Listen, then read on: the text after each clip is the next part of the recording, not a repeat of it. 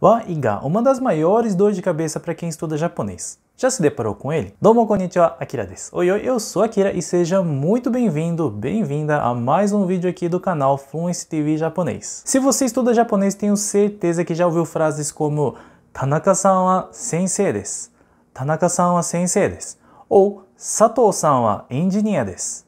Sato-san wa engineer desu. Diz aí, tenho certeza que você já viu algum desses exemplos por aí se abriu pelo menos as primeiras lições de japonês. E só um aviso rápido aqui, esse vídeo é mais voltado para quem começou a estudar japonês, pessoas que iniciaram os estudos. Se você tem interesse na língua e cultura japonesa, clica no link que está na descrição para se inscrever na lista de espera para o nosso curso completo de japonês da Fluency Academy, ok? Vejo você lá, hein? E voltando aqui, é importante dizer que wa não é o verbo ser, a gente chama isso de partícula. Nesse caso, a partícula que vai marcar o tópico. Calma, sensei, que eu não estou entendendo nada. Tópico nada mais é que um assunto.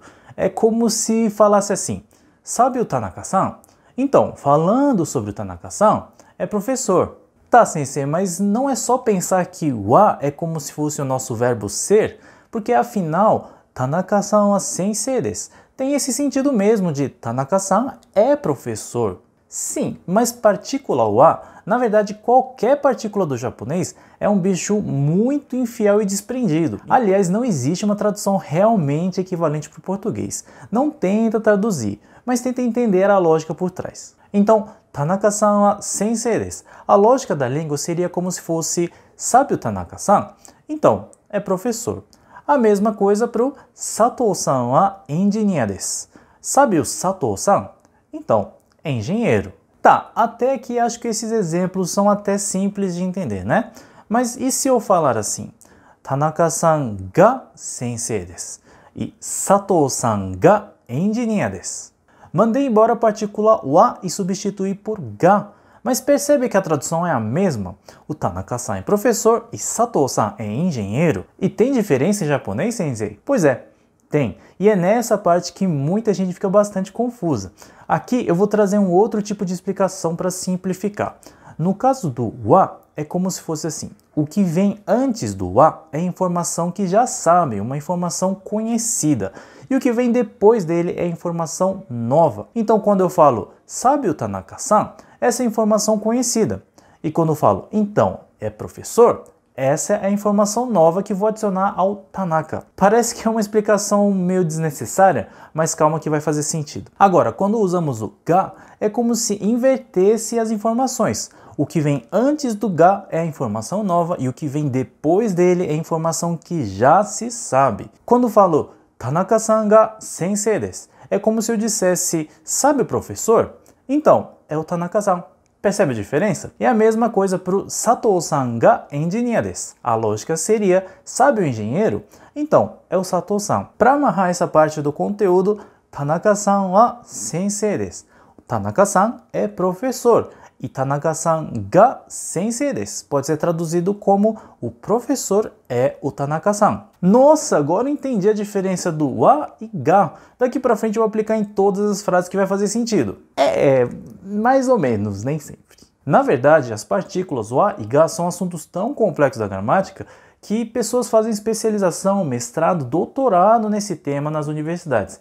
Inclusive, meu professor orientador na faculdade é conhecido por estudar essa parte da gramática da língua japonesa com bastante profundidade. Ele escreveu esse livro aqui falando só sobre wa e ga.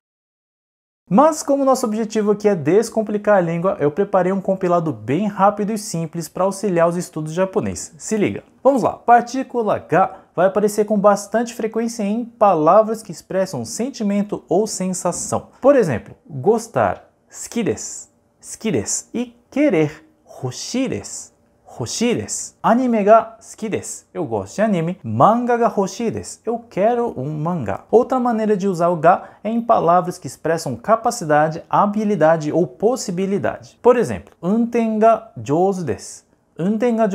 É habilidoso na direção, é bom em dirigir. Ego. Ego ga dekimasu. Eu sei inglês. Ou ego ga wakarimasu.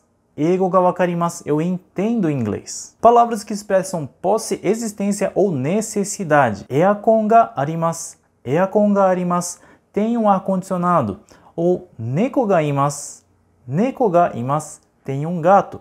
Wi-Fi ga irimasu. Wi-Fi ga irimasu. Precisa de Wi-Fi. O ga também aparece em palavras que expressam impressões, percepções da pessoa que fala. Sora ga kirei desu. Sora. O céu tá lindo. Ou mizu atsui desu. Mizu atsui desu. A água tá quente. Agora a partícula wa vai aparecer com bastante frequência como tópico ou assunto, como eu falei anteriormente. Sato-san wa engineer desu. Sato-san wa engineer desu. Sato-san é engenheiro. Um outro uso de wa é como contraste.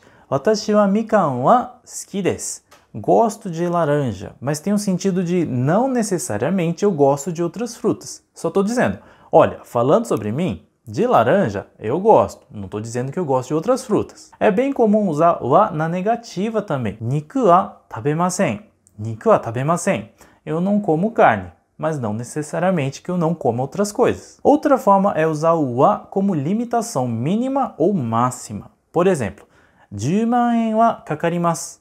10万円はかかります。Uma limitação mínima. Ou 10時まではダメです。10時まではダメです。Até as 10 não dá.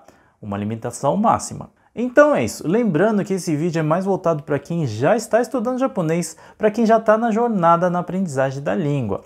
E wa e ga é um tema bastante amplo da gramática do japonês. Então não precisa ficar preocupado, preocupada, porque esse tema nem nativos conseguem explicar com tanta facilidade assim. Mas, como eu falei, não precisa saber explicar. Se praticar bastante e seguir um método adequado e usar a tecnologia a seu favor, com certeza você vai dominar a língua e conseguir se comunicar. Se aprender japonês é o seu sonho, se faz sentido para você, clica no link da descrição para se inscrever para a lista de espera para se matricular para o nosso curso completo de japonês da Fluency Academy. E não se esquece de clicar no joinha, se inscrever no canal e compartilhar essa dica com seus amigos. Já né?